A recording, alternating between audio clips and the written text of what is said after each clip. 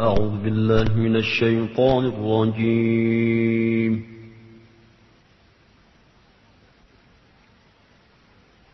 بسم الله الرحمن الرحيم.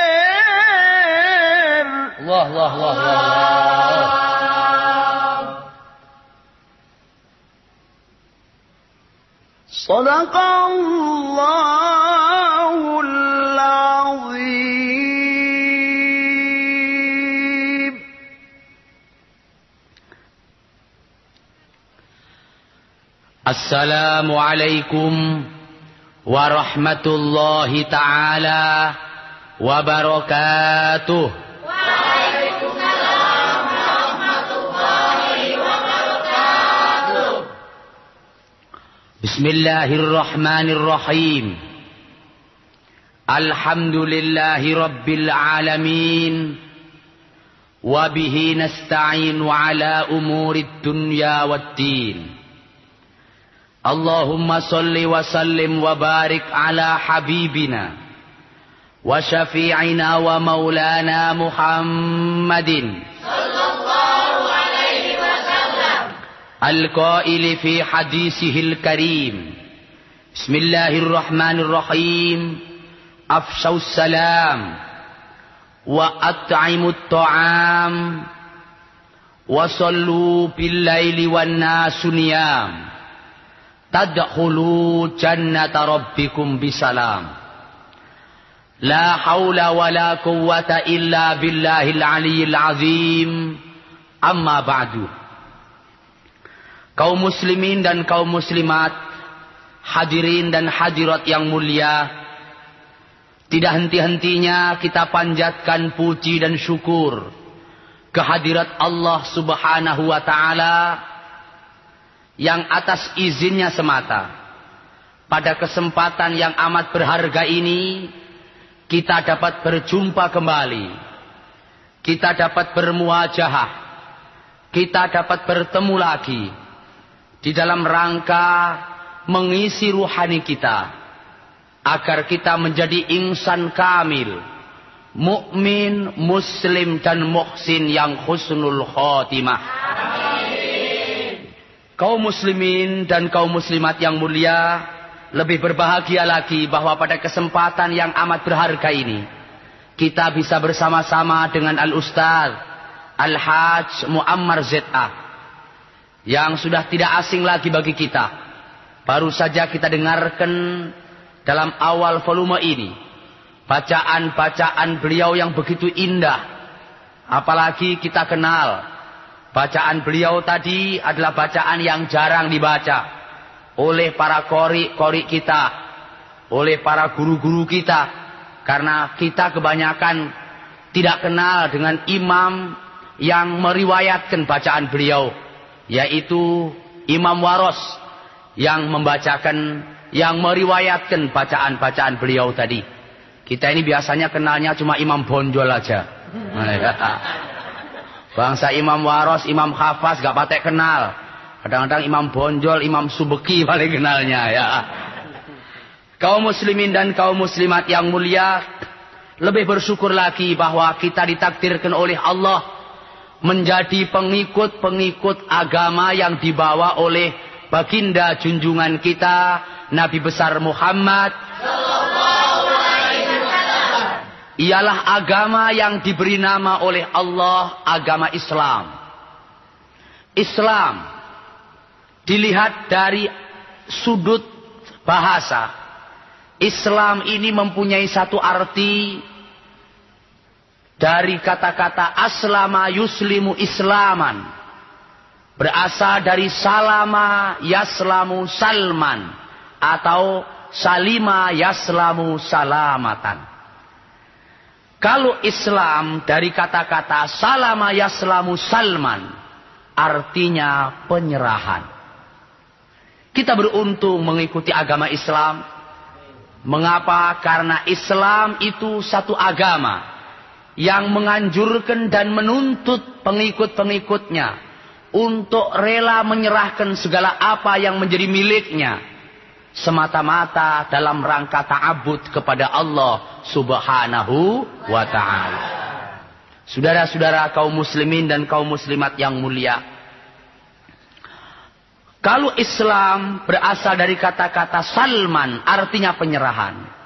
Maka sesuai dengan kehidupan manusia ini. Bahwa hidup ini menurut salah seorang pujangga Arab dikatakan. Al-hayatu hiyal jihad. Hidup ini adalah perjuangan. Tidak ada satupun perjuangan tanpa pengorbanan. Perjuangan tanpa pengorbanan nonsen. Sedangkan hidup adalah pengorbanan. Artinya, kalau kita betul-betul menginginkan bahwa kehidupan kita ini betul-betul hidup yang hakiki. Hidup yang bermakna perjuangan. Maka kita perlu pengorbanan. Dan Islam adalah agama yang menuntut pengorbanan.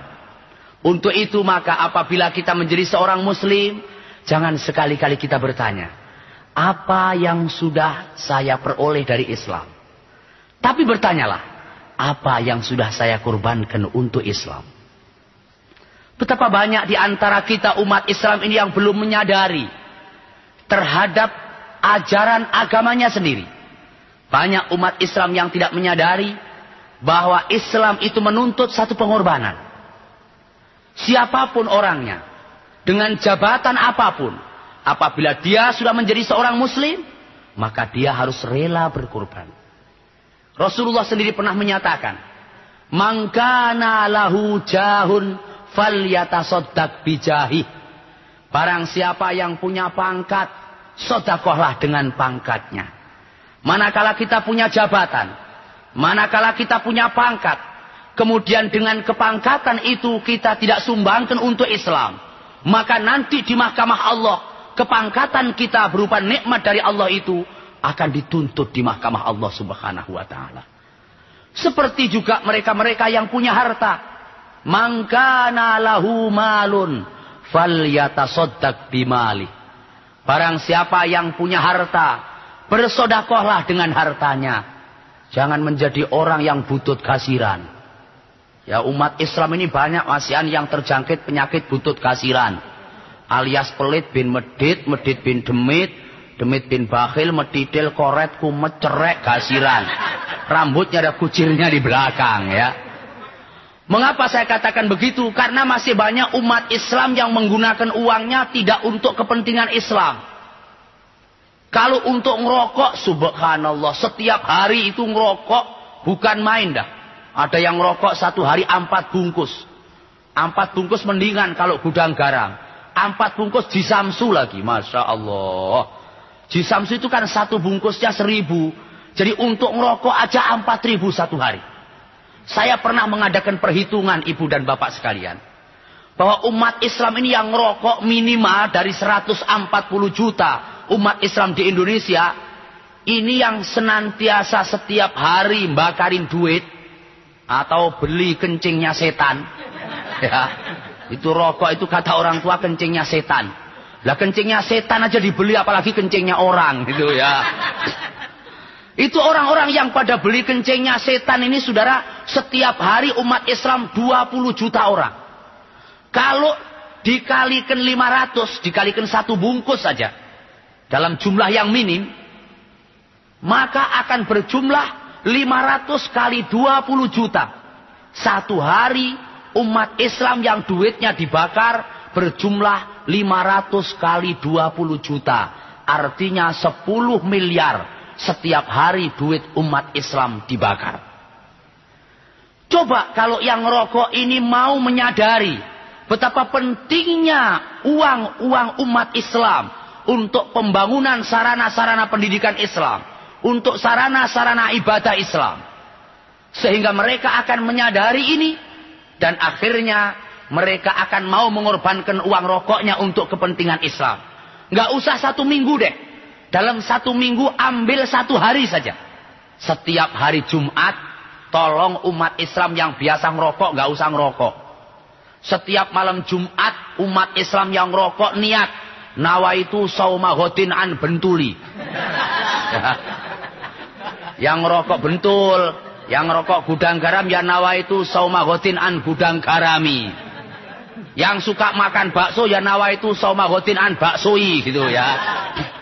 Pendeknya yang makanan-makanan tambahan itu niat kita puasa setiap hari Jumat jatah duit untuk makanan minuman yang berlebihan tadi kita sumbangkan untuk Islam. Kalau kali 500 saja 500 kali 20 juta berarti setiap minggu terkumpul 10 miliar rupiah. Subhanallah. Satu bulan 40 miliar. Satu tahun 480 miliar. 100 tahun sah sudah nggak kehitung deh pokoknya Mau bikin apa umat Islam? Tetapi sayang sekali lagi, umat Islam masih belum sadar terhadap pentingnya pengorbanan dalam Islam. Kata Rasulullah, "Mangkana lahu malun falyatasaddaq bimali." Sebagai seorang muslim kalau dia punya duit, sodakohlah dengan duitnya.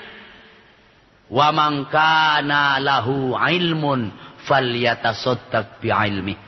Dan barang siapa yang punya ilmu, sodakohlah dengan ilmunya. Kiai-kiai jangan pelit menyampaikan yang hak.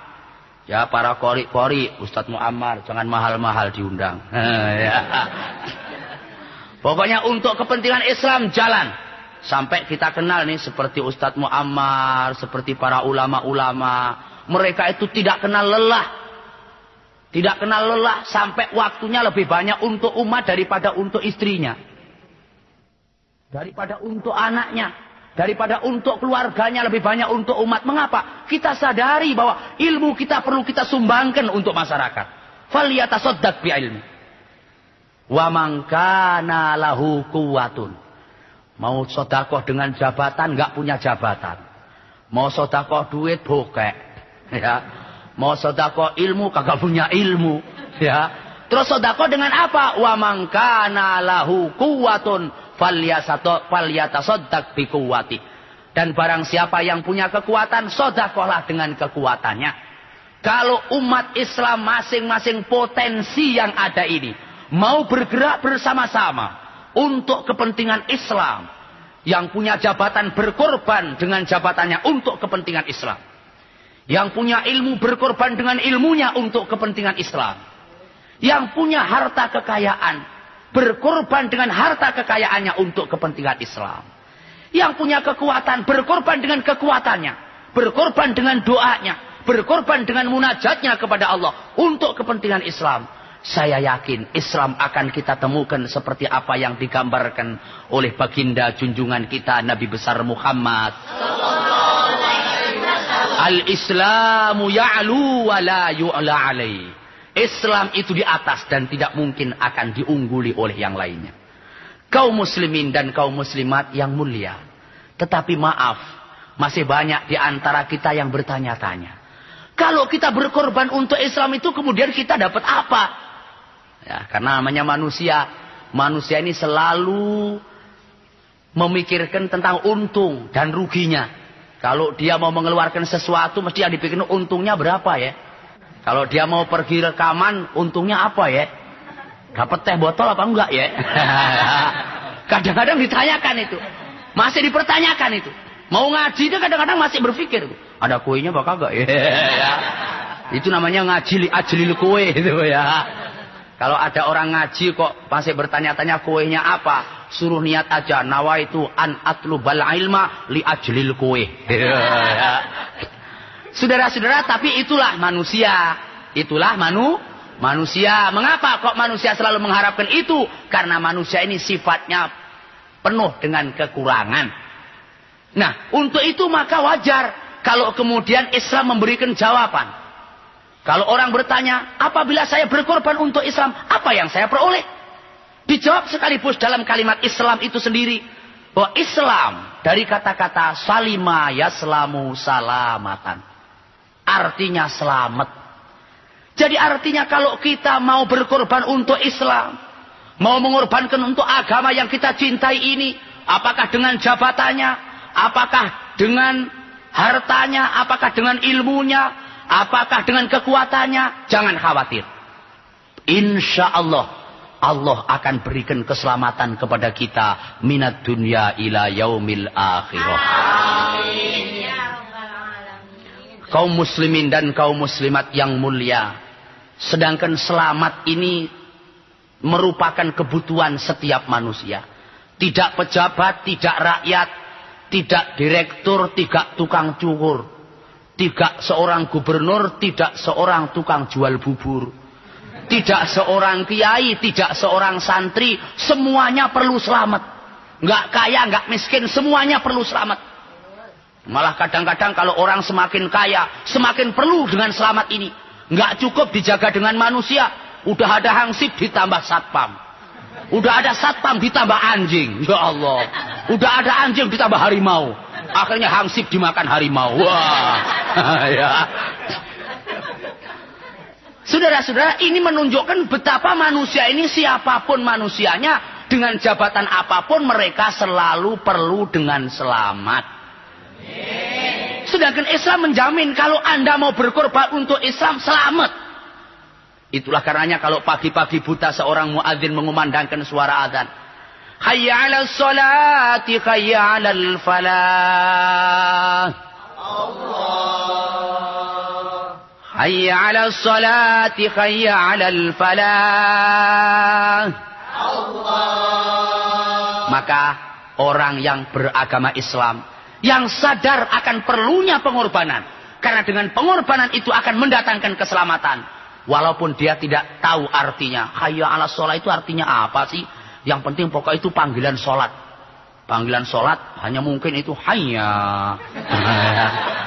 hayya itu kan artinya ajaan itu ya dia tidak tahu artinya apa itu tapi dia tahu bahwa itu ajaan sholat. Dia berangkat menuju ke masjid. Langsung ambil air wudhu. Dia sholat. Dia yakin betul. Kalau saya mau sholat dengan panggilan muadzin ini.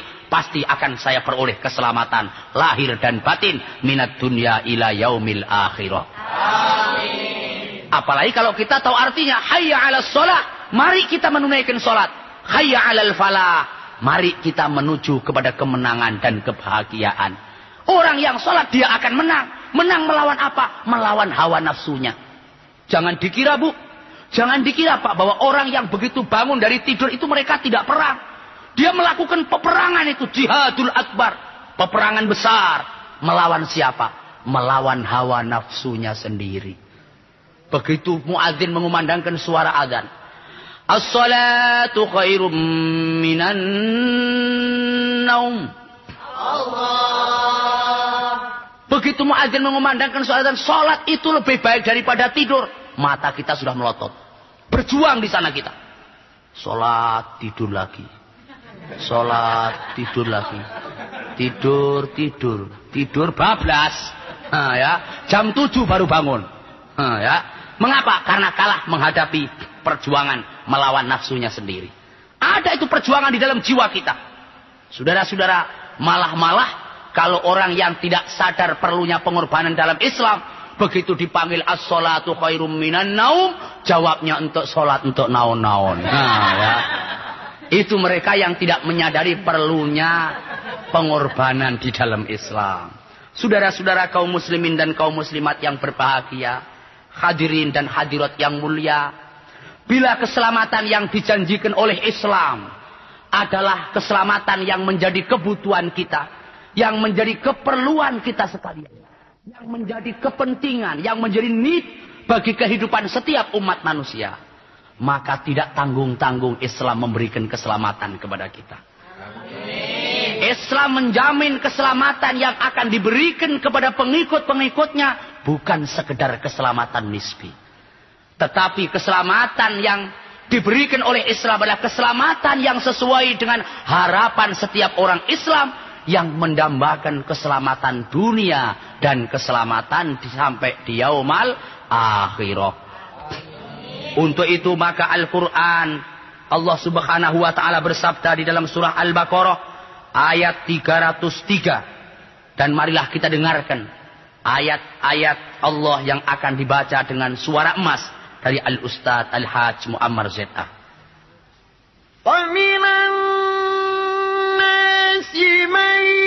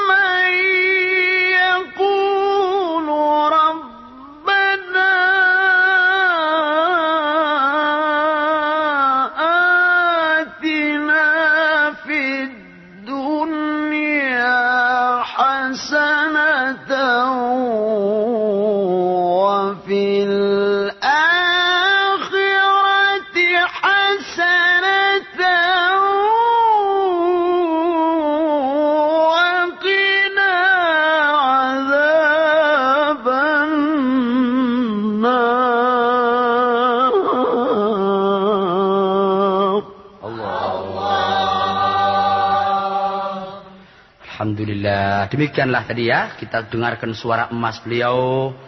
Dari beberapa ayat yang dibaca oleh beliau tadi. Maksudnya adalah. Faminan nasi maka sebahagian manusia. Mayyakulu rabbana atina fid dunya. Wa ma lahu fil akhirati min kholak. Sebagian umat manusia hanya ada yang menginginkan keselamatan dunia saja. Akhirnya di akhiratnya babak belur. Hmm, ya. Tetapi kelompok yang kedua, wa minhum may yaqulu rabbana atina fid dunya hasanah wa fil akhirati hasanah dan akhirnya wa qina adzabannar. Di antara mereka orang-orang yang beriman, orang-orang yang mengikuti agama Islam, yang memeluk agama Islam, mereka selalu mengharapkan berdoa kepada Allah. Yaqul fi'il mudhari' dilalatan 'alal istimrar senantiasa mereka mendambakan kebahagiaan dunia dan kebahagiaan di akhirat. Akhirnya bukan cuma sekedar kebahagiaan di dunia dan di akhirat. Keselamatan di dunia dan di akhirat. Malah ditambah oleh Allah bagi mereka-mereka itu. Waqina benar Dan diselamatkan mereka oleh Allah dari siksaan api neraka. Ibu-ibu, bapak sekalian yang berbahagia. Untuk itu Marilah kita sekalian mensyukuri nikmat Allah bahwa kita dijadikan orang Islam. Karena Islam menjanjikan kepada kita bahwa kita kalau rela berkorban untuk Islam, kita akan diberikan keselamatan minat dunia ila yaumil akhirah.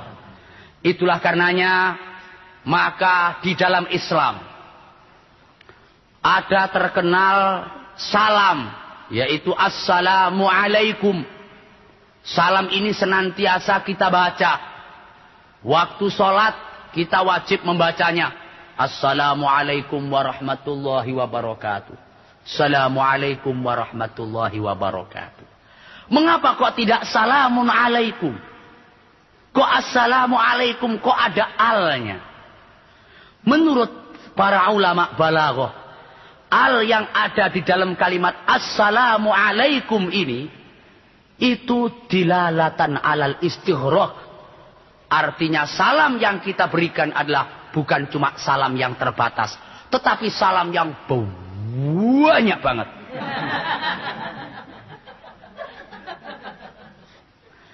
Salam yang bukan cuma terbatas oleh pagi dan siang tetapi salam minat dunia ila yaumil akhirah. Ibu-ibu dan bapak sekalian yang dimuliakan oleh Allah Subhanahu wa taala.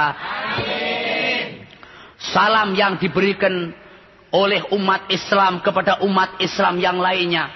Ketika kita sholat Assalamualaikum, Assalamualaikum. Itu salam dalam proses lima kehidupan. Selamat di alam janin. Amin. Amin. Selamat di alam dunia. Selamat di alam barzah. Selamat di alam maksar. Dan selamat ila yaumil akhirah. Kaum muslimin dan kaum muslimat yang mulia. Malah baginda junjungan kita Nabi besar Muhammad. Meletakkan keselamatan dan kedamaian merupakan satu keperluan yang harus diciptakan oleh sekalian umat manusia sepertiga dari tugas kehidupan kita ini. Rasulullah menyatakan afsaus salam. Ratakan salam sejahtera. Masyhurkan assalamu alaikum wa at'imut ta'am. Tugas yang kedua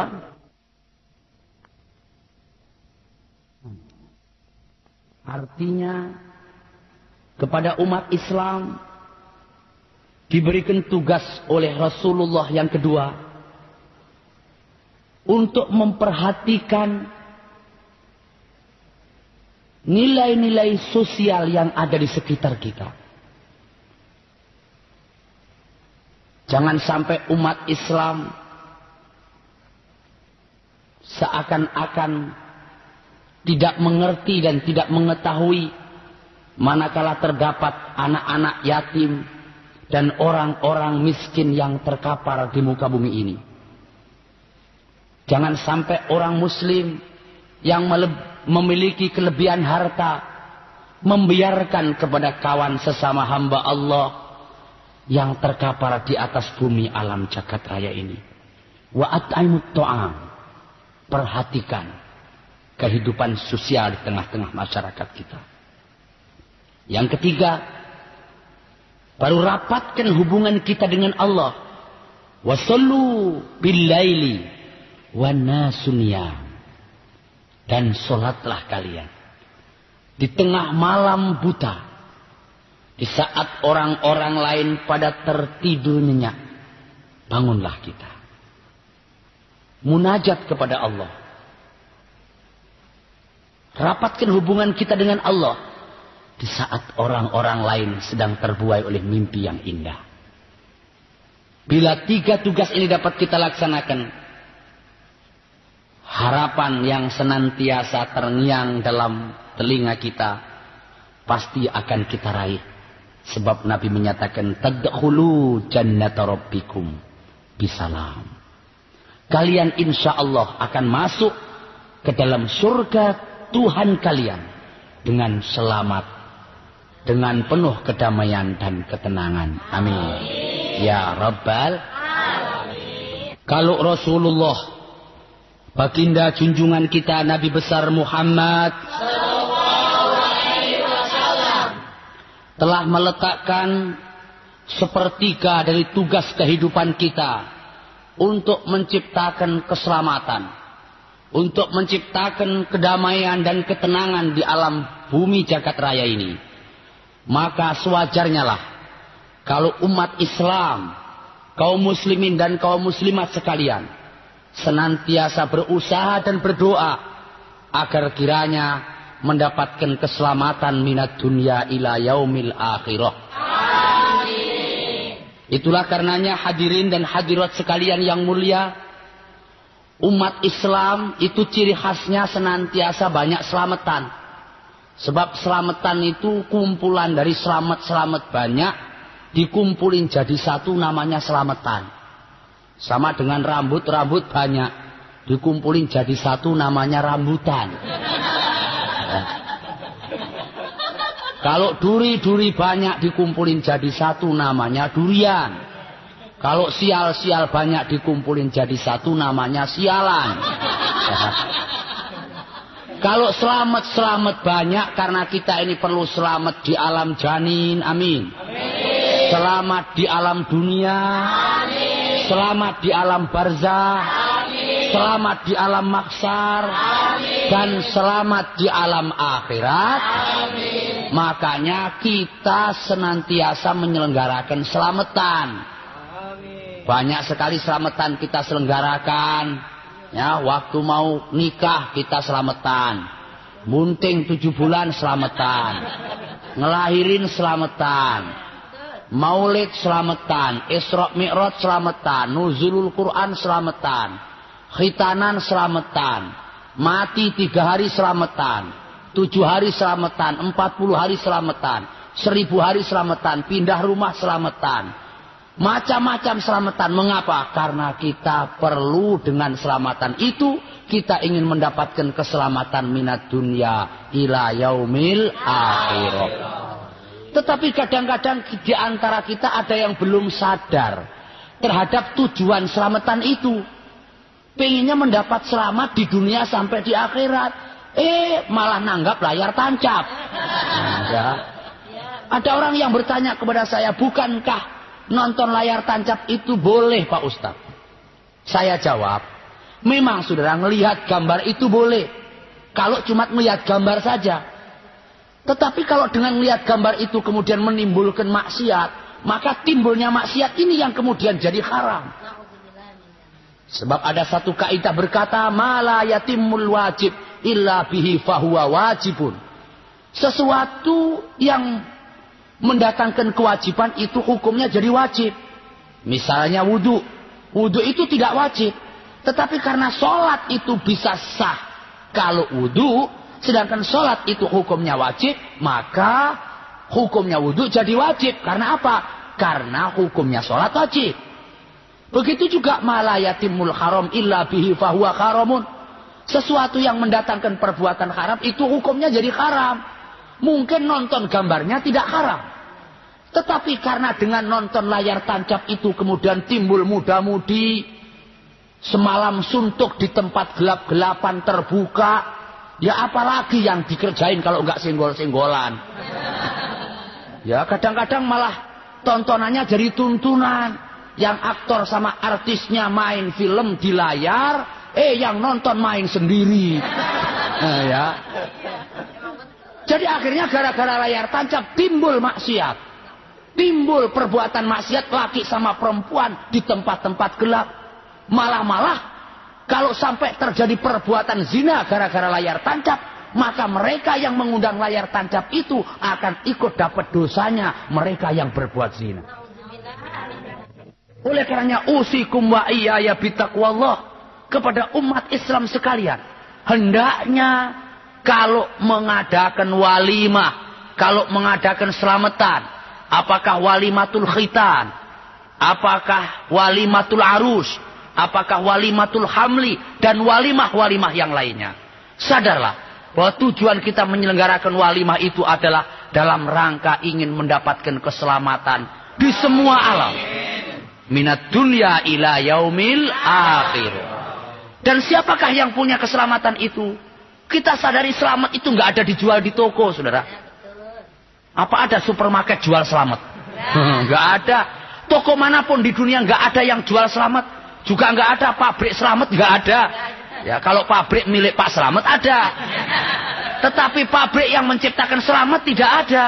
Mengapa? Karena kita sadari bahwa selamat itu pemiliknya tunggal. Hak ciptanya tunggal. Yaitu Allah subhanahu Untuk itu kalau umat Islam perlu selamat harus mendekat Allah. Mana mungkin kita pengen selamat tapi kita jauh dengan Allah. Mana mungkin kita pengen selamat tapi kita berbuat maksiat kepada Allah.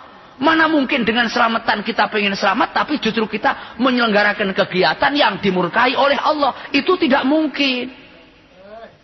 Kaum muslimin dan kaum muslimat sekalian yang dimuliakan oleh Allah subhanahu wa ta'ala. Itulah karenanya kalau umat Islam menyelenggarakan selamatan, sebaiknya justru dengan adanya selamatan itu upayakan untuk mengadakan pendekatan kepada Allah. Misalnya dengan membaca surah Yasin. Misalnya dengan membaca tahlil. Misalnya dengan membaca solawat kepada baginda junjungan kita. Nabi besar Muhammad. Syukur-syukur kalau dengan walimah kita ngundang seorang kiai. Untuk menyampaikan nasihat-nasihat diniyah. Menyampaikan pengajian. Kemudian dengan pengajian itu umat Islam jadi mengerti. Umat Islam jadi lebih cerdas. Di samping ini sesuai dengan cita-cita kemerdekaan bangsa Indonesia. Sesuai dengan undang-undang dasar Indonesia. Untuk mencerdaskan bangsa Indonesia. Juga kita sekalian yang pengen selamat insya Allah akan barokah. Amin. Mengapa?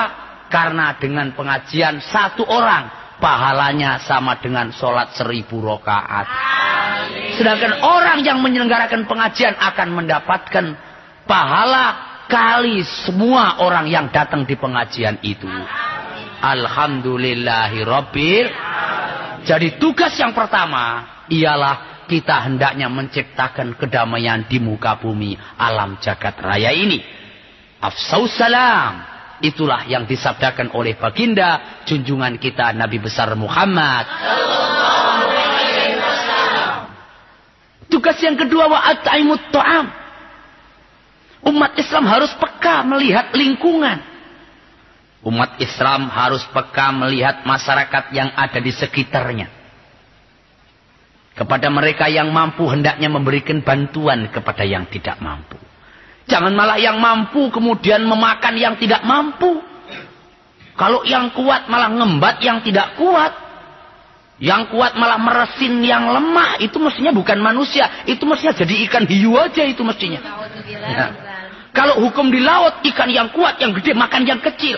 Tapi di darat tidak boleh. Yang kuat justru harus menolong kepada yang kecil. Betul. Yang kaya harus menolong kepada yang miskin. Allah menyatakan, "Likai la takuna taulatan bainal aghniya." Agar hendaknya harta kekayaan itu jangan hanya berputar di sekitar orang-orang kaya saja, ratakan. Sebab apa? Sebab orang kaya pun pada satu saat juga perlu dengan orang yang miskin. Di dunia ini orang kaya tok repot. Ya, kaya tok semuanya. Semuanya orang kaya. Sawahnya ratusan hektar semuanya. Nggak ada orang miskin. Hmm, cepat mati orang kaya seperti ini ya. Mengapa? Dia mau ngerjain sawahnya. Tolong Pak Doan kerjain sawahnya. Kerjain sawah saya. Ngapain gua juga orang kaya suruh ngerjain sawah lo. Menghina ya. Itu kan. Gua kan orang kaya. Sawah gua seribu hektar juga belum dikerjain. Gitu kan. Semuanya mau minta kerjaan orang lain nggak bisa. Karena apa? Semuanya sama kaya. Akhirnya orang-orang kaya pada ngerjain sawahnya sendiri. Nyangkul sendiri, nyawa sendiri. Sepuluh hari lagi mati dia. ya. Mengapa? Kecapean soalnya. Oleh karenanya kaya semuanya tidak enak. Orang kaya perlu kepada orang miskin. Miskin semua juga tidak enak. Satu dunia miskin semua. Uh, repot. Waduh, gua miskin cari kerjaan. Oh, kerjaan apa? Gua juga miskin. ya. Malah lebih bangkrut lagi. Nah, oleh karenanya maka sebenarnya Allah menciptakan ada yang kata, ada yang kaya, ada yang miskin. Itu sebenarnya satu dialektika di dalam kehidupan untuk apa? Untuk saling masing-masing itu menyadari bahwa yang kaya perlu kepada yang miskin, yang miskin juga perlu kepada yang kaya. Supaya sadar bahwa manusia ini nggak bisa hidup sendiri-sendiri. Kaum muslimin dan kaum muslimat yang mulia. Itulah karenanya maka di dalam sebuah cerita pernah salah seorang sahabat baginda junjungan kita Nabi besar Muhammad pada suatu malam dia berada di Masjid Nabawi. Sahabat ini adalah sahabat yang solih. Sehingga dia orang yang paling pertama masuk masjid. Dan paling terakhir pulang dari masjid. Nggak sama dengan kita. Kalau kita paling akhir datang di masjid. Paling cepetan pulang dari masjid. Apa tujuannya? Karena ngintip sandal yang cakep. Itu ya. Kalau sahabat tidak. Berebut paling awal datang di masjid. Dan paling akhir dia pulang dari masjid. Pada satu saat. Salah seorang sahabat ini ketika akan pulang dari masjid. Tiba-tiba melihat sesosok tubuh. Ada di pojok masjid sebelah sana. Loh. Ini kok ada orang di sini. Kan tidak boleh tidur di masjid. Kok ada orang tahu-tahu mau tidur di masjid, didatangi sama dia. Assalamualaikum. Waalaikumsalam. Tuhan dari mana? Maaf pak, saya ini seorang tamu. Saya sedang berusaha mencari keluarga saya di kampung ini. Sudah tiga hari tiga malam aku mencoba berusaha mencari keluargaku itu. Tapi tidak ketemu. Padahal bekalku sudah habis. Selama dua hari dua malam aku tidak makan apa-apa. Kecuali hanya beberapa teguk air saja yang masuk dalam perutku ini. Akhirnya iba ini sahabat mendengar cerita daripada orang seorang tamu yang akan tidur di masjid ini. Akhirnya bagaimana? Begini aja Pak. Begini aja Tuhan. Daripada sekarang Tuhan tidur di masjid, lebih baik Tuhan sekarang tidur di tempat saya. Dan insya Allah nanti di rumah ada makanan. Nanti Tuhan makan sekenyang-kenyangnya. Kata tamunya ini, lumayan juga nih. Udah dua hari kagak makan nih hari nih. ya udah deh. Alhamdulillah kalau begitu terus bagaimana Tuhan? Ya sekarang tidur di tempat kami. Besok pagi cari di masjid ini. Insya Allah besok pagi orang itu ketemu. Bagus. Diajak pulang. Setelah pulang. Sampai di rumah. Persilahkan tidur. Persilahkan duduk dulu. Setelah persilahkan duduk. Dia masuk ke dalam rumah. Setelah masuk di rumah. Dilihat, dia lihat itu dalam almarinya. Ternyata tidak ada satu makanan apa pun. Kecuali hanya sepiring roti yang ada di dalam almari itu. Sahabat tadi kemudian masuk ke dalam kamar tidur. Dia bangunkan istrinya. Dek, dek. Dek, dek. Apa mas? Iya. Namanya sahabat dari Jawa ini. Begitu bangun, begini. Malam ini kita punya tamu. Sudah dua hari dua malam tidak makan. Saya ingin agar roti yang ada dalam almari itu kita suguhkan untuk tamu kita. Kata istrinya. Nah kan abang juga belum makan dari tadi pagi. Saya juga belum makan. Itu roti kan kita siapkan untuk makan satu-satunya. Sehari semalam ini kita cuma akan makan itu. Jangan kenceng-kenceng. Ntar ketahuan belang kita. Itu katanya ya. Jangan ribut-ribut. Memang biasanya kalau perempuan begitu agak pelitan biasanya. Soalnya nggak ada lagi. Kata suaminya, udah deh sekarang kita ngalah aja. Daripada kita biarkan dia terlantar kelaparan. Akhirnya nanti kalau dia sampai mati kelaparan, kita akan disiksa di yaumal akhirah. Lebih baik hari ini kita lapar gak apa-apa. Yang penting kita di akhirat selamat gara-gara menolong dia. Tapi istrinya nggak mau mengerti, tapi tidak. Ya kalau abang bisa, kalau saya bisa menahan perut. Ya tapi kalau anak-anak, dua anak-anak kita itu kan dari pagi juga nggak makan. Nanti kalau mereka yang mati, alah banyak cincong. Nah, tidur tidur aja dah. Akhirnya dia keluar, istrinya pura-pura tidur padahal sambil lapar itu perutnya itu. Kerutuk, kerutuk, kerutuk, kerutuk gitu ya. Akhirnya dia ambil itu roti, suguhkan untuk tamunya. Suguhkan untuk tamunya. Nampaknya tamunya ini nggak seperti kita. Kalau kita lapar ada roti, embat. ya. Pisang goreng aja habis ya. Apalagi roti, uh babak belur ya. Yang kalau saja habis, ada rotinya bubuk. Ini namanya sahabat ini tidak. Dia orang soleh, dia tahu. Dia mengerti. Kalau seandainya aku tahu-tahu makan begitu saja, iya kalau di dalam masih ada sisa. Akhirnya dia bilang, Pak, Tuhan, saya tidak mungkin makan sendiri. Kalau Tuhan tidak bersama kami, makan bersama-sama kami. Akhirnya dia bilang, tapi bagaimana ya? Saya tadi udah terlanjur bilang banyak rotinya di dalam. Tapi di dalam udah habis. Kalau dia nggak makan, tamunya nggak mau makan. Akhirnya dia masuk ke dalam, mikir otaknya. Ya udah, gua bawa aja deh piring kosong. Dia bawa piring kosong. Kalau dulu kan lampunya tidak seperti sekarang, lampu-lampu yang terang seperti ini. Lampunya lampu centir. Lampu tempel, taruh di bawah. Ditendang sama dia supaya mati. Setelah mati gelap kan? Gelap tamunya nggak tahu apa yang di dalam piring tadi apa ada roti atau tidak. Pokoknya dia pura-pura makan aja. Mari mari kita makan. Mari. Bismillahirrahmanirrahim. Mari mari mari makan mari. Karena perasaan tamunya tadi itu tuan rumahnya betul-betul makan roti, dia habisin itu roti tadi itu. Dia habisin. Udah persilakan deh. Setelah habis, alhamdulillah, alhamdulillah udah kenyang. Ya kenyang tamunya, tuan rumahnya sih gelegen. ya. Persilahkan. Tamunya dipersilahkan masuk ke dalam kamar. Dia munajat kepada Allah. Takut khawatir kalau anaknya bangun. Kalau sampai bangun merintih, menangis, belum makan satu hari. Terus apa yang dikasihkan untuk anaknya? Akhirnya dia sholat. Ih, tiba-tiba di saat dia sedang melakukan sholat, betul anaknya menangis. Eh, Pak. Lapar, Pak. Bingung dia. Melihat tang, mendengar tangisan anaknya tadi.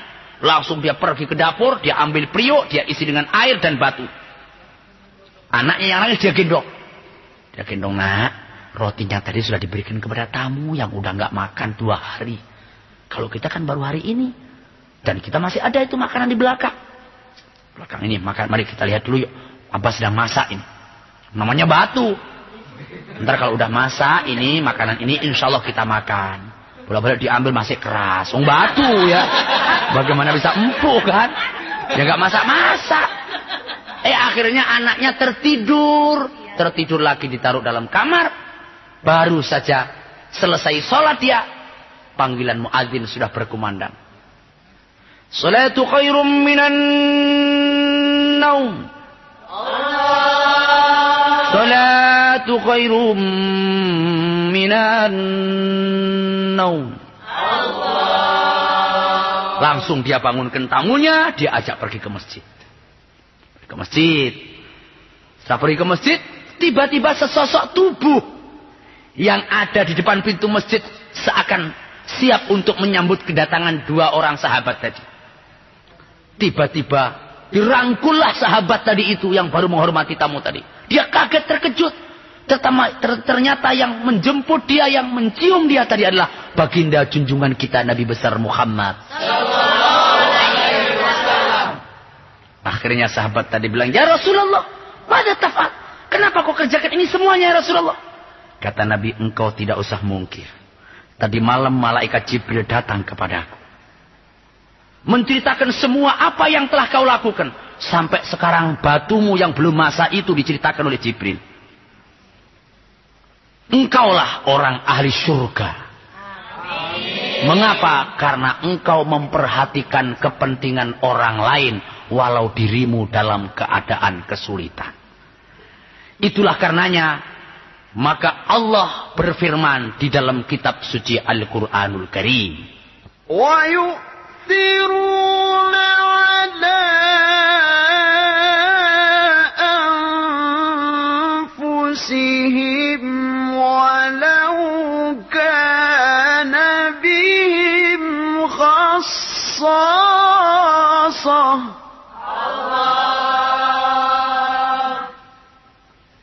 Yang artinya wa yu'thiruna ala anfusihim walau kana bihim. Dan mereka itu mengalahkan kepentingan dirinya sendiri walau dirinya sendiri dalam keadaan kesulitan. Sebenarnya ini kita sekalian sudah punya satu ungkapan yang terkenal di dalam ungkapan bangsa kita. Dan kalau seandainya ungkapan ini kita praktekkan bukan hanya menjadi uka ucapan bibir saja, bukan hanya menjadi slogan saja. Saya yakin bangsa Indonesia ini saudara insya Allah akan merata keadilan dan kemakmuran dan diridhoi oleh Allah subhanahu wa ta'ala. Kita sudah punya satu istilah mengambek para mengartakan kepentingan orang lain daripada kepentingan dirinya sendiri. Dan inilah yang dimaksudkan dengan wayu siruna ala anfusihim walau kana bihim khassasoh. Ini tugas yang kedua. Tugas yang ketiga. Wasallu billaili wan nasu niyam. Hendaknya rapatkan hubungan kita dengan Allah. Sadar bahwa hidup ini adalah problematika dan masalah. Hidup ini persoalan, Bu. Semakin lama kita hidup di dunia, semakin numpuk persoalan yang kita hadapi. Waktu dulu kita baru lahir seakan tidak ada persoalan dalam hidup ini. Tapi begitu kita sudah kawin, sudah punya anak, punya mantu, punya cucu, kakek-kakek, nenek-nenek. Apalagi sudah tambah jabatan, tambah kekayaan. Ternyata tidak semakin sedikit persoalan yang kita hadapi. Pantas kalau seorang ahli tasawuf berkata, bahwa hidup ini bagaikan mengurai benang yang kusut. Mengurai benang yang kusut. Benang yang ruwet itu. Hidup ini bagaikan benang yang ruwet. Yang kusut. Perlu kita urai dengan pelan-pelan. Jangankan benang yang kusut, benang yang lempeng aja bu. Kalau kita memasukkan ke dalam lubang jarum itu nggak boleh tergesa-gesa. Harus sabar. Oh nggak masuk. Nggak masuk. Akhirnya masuk di mulut. Iya. Apalagi kalau mulutnya pas mulut membleh itu aduh ya. Sambil masukin mulut sambil ngiler lagi ya. Kaum muslimin dan kaum muslimat sekalian yang mulia. Itulah karenanya Imam Abu Hamid Muhammad bin Muhammad Al-Ghazali memberikan satu analisa. Mengapa sih setiap jabang bayi yang lahir, setiap manusia yang lahir di alam jagat raya ini selalu menangis? Nggak ada ceritanya bayi lahir, manusia lahir dalam keadaan ketawa nggak ada. Pelawak terkenal di dunia sekalipun, Charlie Chaplin sekalipun, lahir di dunia procot nangis. Nggak ada lahir procot, hahaha, nggak ada. Nah.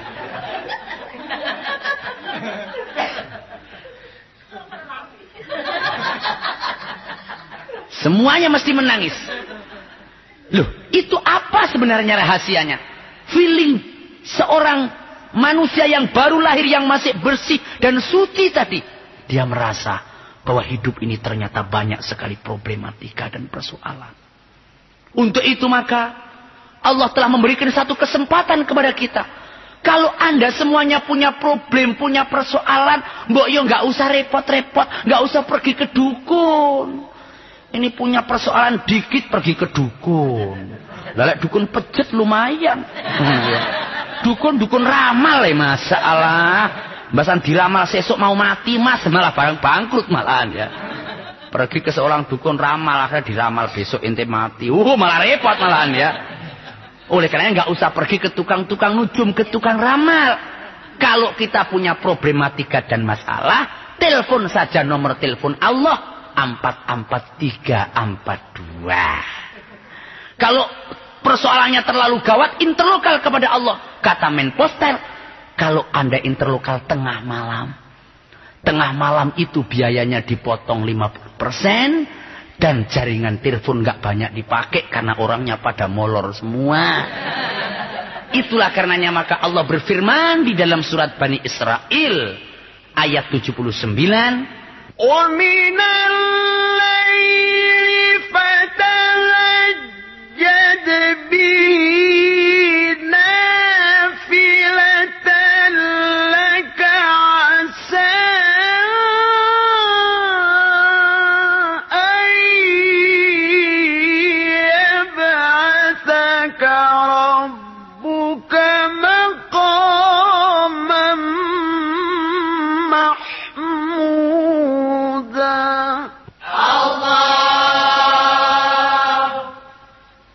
Artinya, dan pada sebagian malam itu, tahajudlah Anda. Insya Allah, Allah akan bangkitkan Anda sekalian. Allah akan kirimkan kepada sekalian makom dan derajat yang terpuji. Kalau kita mau masyarakatkan tahajud, mentahajudkan masyarakat, insya Allah umat Islam akan diangkat derajatnya oleh Allah subhanahu wa ta'ala. Demikianlah mudah-mudahan bermanfaat. Wallahul muwafiq ila aqwamit thoriq. Wassalamualaikum warahmatullahi wabarakatuh.